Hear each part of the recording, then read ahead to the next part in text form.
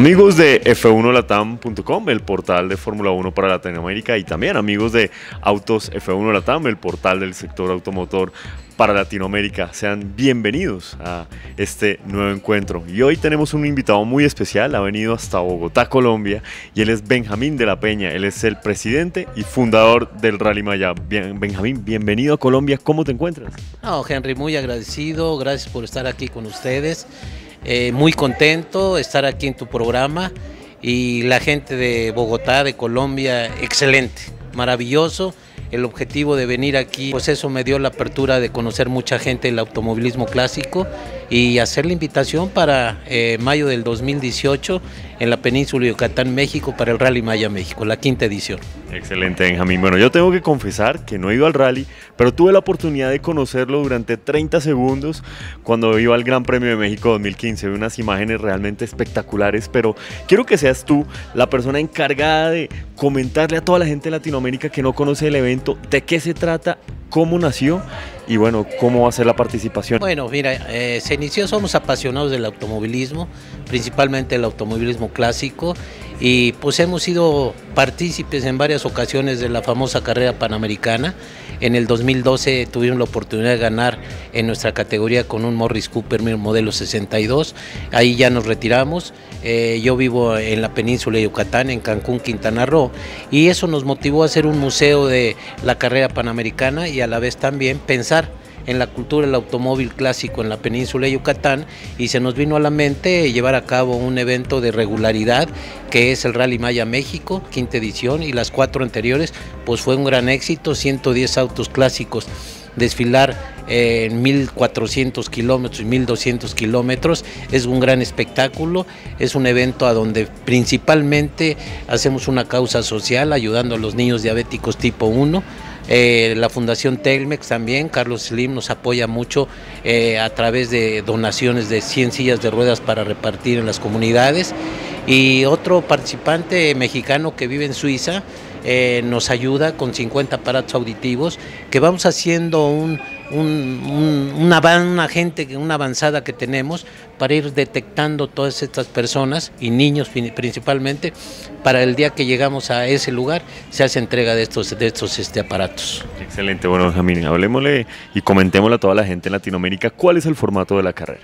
Bueno, es un formato, son 110 automóviles clásicos desde 1915 a 1975 con el 90% de, de, de, este 90% originalidad de los automóviles y pues estamos hablando, cada año es una ruta diferente, son 1500, 1200 kilómetros, siempre vamos a diferentes rutas y son cuatro categorías de automóviles, de 1915 a 1931, de 1932 a 1949, de 1950 a 1964 y de 1964 a 1975. Este, el ganador pues, es regularidad, el ganador es el que menos errores comete con el cronómetro y también tenemos un concurso de la elegancia que en el transcurso de la revisión de los automóviles vienen siete jueces, eh, uno de Argentina, que es Hugo Samperena, de Costa Rica, Diego Rodríguez, de Cuba, que es eh, Juan Santa María, eh, de Italia, no recuerdo el nombre del juez italiano, y tres mexicanos.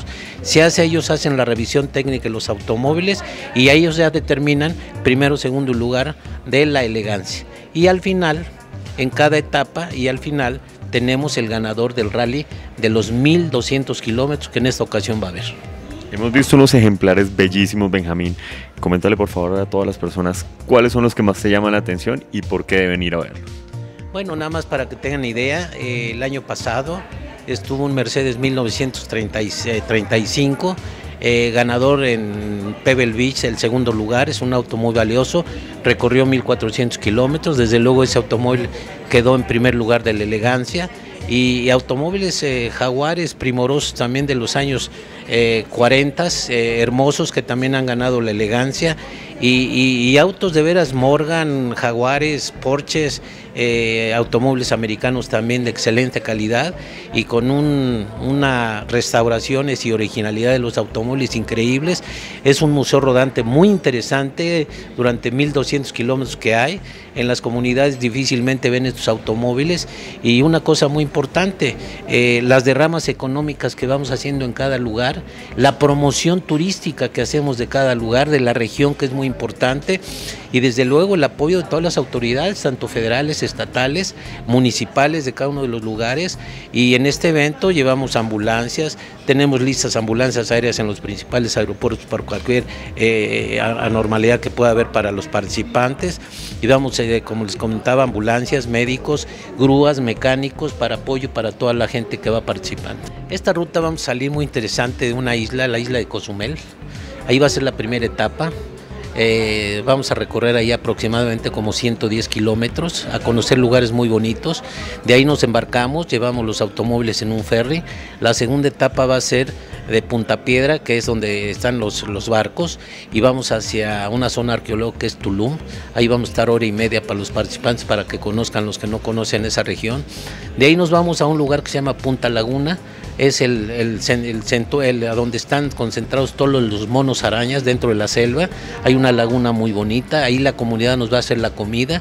Hay unos cenotes, los cenotes son eh, respiraderos de ríos subterráneos que puede uno nadar muy interesante, bajas por unas escaleras muy un poco difícil. De ahí nos vamos a una donde vamos a dormir, a pernoctar, que se llama la ciudad de Valladolid, Yucatán, una ciudad colonial primorosa. Allí dormimos, tenemos actividades culturales, se entregan premios ahí, las medallas, los trofeos por categoría. Y al otro día nos vamos a un lugar que se llama Río Lagartos. Río Lagartos en Yucatán. Es una ría, una entrada del mar hacia una parte muy interesante, tipo río. Vamos a llegar a unas salinas. En esas salinas vamos a nadar en el agua donde vas a flotar, muy interesante. De ahí nos vamos a San Felipe, que es un lugar a donde vamos a comer de toda la cuestión de mariscos de esa región. Y de ahí nos vamos a Chichen Itza, a un hotel excelente dentro de la selva. Es un hotel que está pegado a la zona arqueológica de Chichen Itza. Y en la noche vamos a tener luz y sonido para todos los participantes, la cena de premiación, que ahí vamos a tener este, varias actividades culturales. En cada lugar, perdón, en cada lugar eh, que llegamos, entregamos las sillas, entregamos los aparatos auditivos y seguimos. Los mismos participantes son los que, los que hacen esta entrega. De Chichen Itza el otro día nos vamos hacia la ciudad de Mérida, Yucatán. Mérida de Yucatán es una ciudad primorosa. Eh, vamos a estar dos noches, tres noches posiblemente, a donde en el centro de convenciones de la ciudad de Mérida vamos a tener en exhibición los 110 automóviles, vamos a tener actividades culturales, la Sinfónica de Yucatán en el Teatro Peón Contreras, un teatro muy bonito, eh, la Trova Yucateca, música y visitas a los museos, al Museo de la Cultura Maya, que es muy interesante. Y de ahí nos vamos ya directamente a ir puebleando rumbo a Cancún. Vamos a llegar a un lienzo charro primoroso, un, este, lienzo muy bonito que nos van a hacer actividades charras. Eh, y de ahí nos vamos a Puerto Morelos y de Puerto Morelos llegamos ya directamente a Cancún, donde vamos a tener también actividades, la cena de premiación y ahí se termina, pero son 10 días de un recorrido fabuloso, 5 días de competición y 5 días entrelazados de actividades culturales y entrega de premios. Extraordinario, Benjamín. Ya con todo lo que me comentas, estoy que, que llegue esa fecha para realmente disfrutar de las maravillas de México. Además, destacar amigos que no es solo competición, estamos hablando de turismo, estamos hablando de beneficencia, en fin, una serie de, de elementos que hacen que este rally sea realmente todo un éxito y muy reconocido a nivel mundial. Fuera de micrófonos hablábamos, eh, Benjamín, que la FIA quiere incluirte dentro del calendario.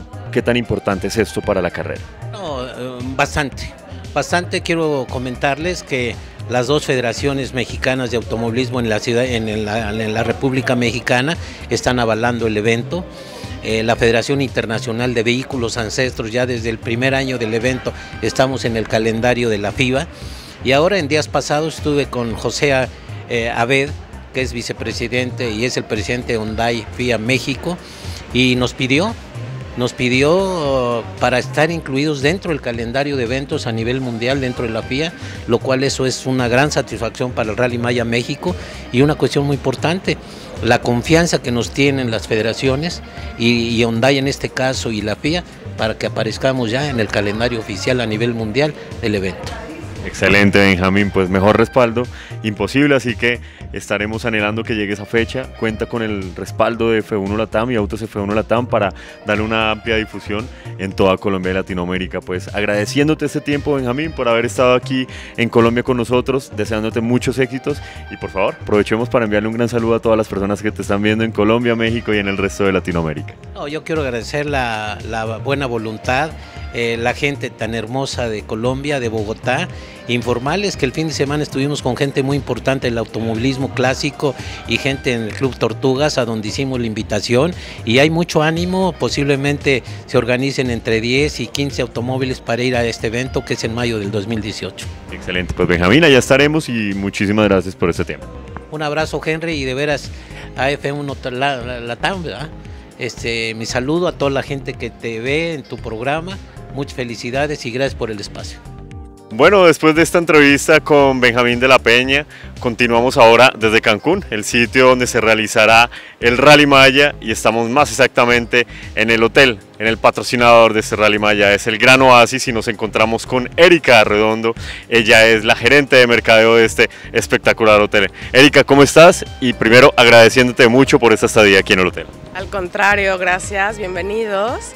Estamos pues, felices de tenerlos aquí una vez más y esta es su casa. A final de cuentas, Gran Oasis Cancún y The Pyramid han sido patrocinadores y sede de muchos de los que vienen a participar en el Rally Maya y es un placer tenerlos con nosotros. Excelente, Erika. Bueno, hablemos un poco del hotel. Realmente es maravilloso. Desde el instante que llegamos quedamos asombrados de sus instalaciones. Pero contémosle a la gente en Colombia y Latinoamérica por qué deben venir al Gran Oasis Cancún. Pues mira, eh, Oasis Hotels and Resorts tiene diversos hoteles y este en específico es el resort de entretenimiento, todo incluido por excelencia, ¿no? Tiene lo que es entretenimiento eh, al estilo Las Vegas, ¿no? De muchísima calidad. Tenemos en el lobby, en el centro, eh, tres espectáculos de Red Circus y lo que es danza aérea con una compañía que se llama Humanicorpio Oasis, que lo llevan a cabo en las noches. Y bueno, hay sketch que te encuentras cómicos por todo el hotel, haciendo tu estadía mucho más placentera, más agradable. Eh, evento, hay club nocturnos, ¿no? el Coyote Loco, el Kinky, que es para adultos con un estilo cabaret burlesque. Entonces, tiene una amplia gama de posibilidades para que la gente que se hospeda con nosotros se divierta, se la pase bien, tenga unas vacaciones divertidas y además una estadía pues diferente, ¿no? A lo que siempre conocemos. Muy bien, amigos, además de venir al Rally Maya, pueden disfrutar de un excelente hotel y ni hablar de la gastronomía. ¿Cuáles son esas características especiales de todos estos restaurantes que tienes acá? Pues mira, este en específico, este complejo, es el que tiene la más amplia variedad gastronómica en el destino. O sea, tú llegas y tienes acceso a 24, 26 restaurantes, 24 bares, y es increíble, ¿no?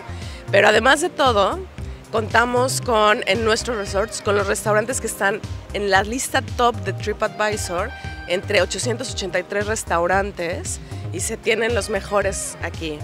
Hablando de Benazusa, que es una comida cocina tecnoemocional, molecular, que es increíble, de diversa degustación, platillos 18 platillos en degustación y es una experiencia súper linda y que además pueden hospedarse aquí, tenerlo y gente de afuera puede visitarnos, ¿no? Black Hole, que es el de degustación a ciegas, entonces imagínate que no ves el platillo, lo estás probando, lo estás degustando y estás tratando de adivinar de qué sabor estamos hablando. Eh, The White Box, que es un estilo gastrobar, eh, y este es traer como la mesa o la cocina gourmet en pequeñas porciones en un ambiente mucho más relajado y formal. No, no necesita ser tan formal, pero mucho más relajado. Carey es más clásico como cocina gourmet mexicana, es delicioso. Y Makitaku esa fusión japonesa-mexicana. Estos cinco son los que están en la lista top de TripAdvisor y bueno, muchísimas especialidades más que recorremos las cocinas del mundo, ¿no? La española, eh, japonesa, eh, tailandesa y hay hay varios más. Entonces hay muchísimo tiempo para degustar, probar, sentir y despertar esos sentidos. Excelente. Y amigos, un excelente plan también después de venir al Rally Maya o al Gran Premio de Fórmula 1 venir a Cancún y por qué no tener entre sus opciones el Gran Oasis, lo hemos probado, hemos quedado maravillados, planes de pareja, planes en familia. Y Erika, tenemos entendido que hay planes para todos los bolsillos, para todas las edades, todo lo podemos tener acá, además todo incluido. Así es, la opción todo incluido abarca no solamente, o sea, tenemos dentro de los hoteles, está la colección de lujo, que es, eh, obviamente, como lo dice, ¿no? Un resort con de lujo todo incluido, que tienes la opción de restaurantes de especialidades, exclusivos, servicio de mayordomo y muchas cosas más, ¿no? Grand, que es aún así sigue siendo cinco estrellas, también todo incluido. Y eh, los resorts y la, la categoría Light, que es mucho más económica, accesible, ¿no? Para que la gente también pueda adaptarse. Tenemos diferentes resorts y eso es el de entretenimiento, que es para toda la familia. Adultos, tenemos un hotel exclusivo de adultos, que es el Gran Oasis Sense, y de Siancanat Grand Sense, que es solamente adultos, ¿no? Entretenimiento, gastronomía y todas las actividades enfocadas a adultos. De Palm, y es el Gran Oasis Palm, que es solamente para familias no solamente, digo, pueden ir más, pero está enfocado a familias, tiene el mejor Kids Club del destino. Entonces no solamente la gente puede venir y disfrutar, ¿no? Como parejas pueden darse el tiempo mientras los niños están siendo cuidados por personal calificado y en un Kids Club increíble. Y están los hoteles urbanos, los del centro, para gente que gusta combinar el negocio con el placer. Y en Akumal tenemos el Gran Oasis Tulum, el Oasis Tulum Light, y él de Siancan at Grand Tulum. Y entonces ahí es estar mucho más en contacto con la naturaleza, eh, familias, parejas. De Siancan at Grand Tulum es solo adultos. Eh, recordando que en todos los lugares hay un spa, ¿no? También hay un espacio para que la gente se relaje, la pase bien y retome actividades. Entonces, el estar segmentados y el que la gente pueda tener diferentes opciones hace que Oasis sea especial y puedan contar siempre con una opción, diferente. Ah, excelente, excelente Erika, pues agradeciéndote mucho tu tiempo, nos veremos acá en mayo para el Rally Maya, ustedes como patrocinadores de este gran evento para destacar eh, estas bondades de, México en turismo, en fin, en, en un sinfín de opciones que para nosotros los extranjeros pues es maravilloso visitar eh, su país. Así que Erika, muchísimas gracias por este tiempo y aprovecho para enviarle un gran saludo a todas las personas que te están viendo en Colombia, México y en el resto de Latinoamérica e invitarlos obviamente a este espectacular hotel. Claro que sí, gracias a ustedes, son más que bienvenidos, aquí los esperamos. Y bueno, no olviden, ¿no? El eslogan de Oasis es Oasis Loves You y por algo está, ¿no? Abraza a todos sus clientes huéspedes y hace que su estancia sea inolvidable y especial. Entonces, aquí nos vemos. Muchas gracias.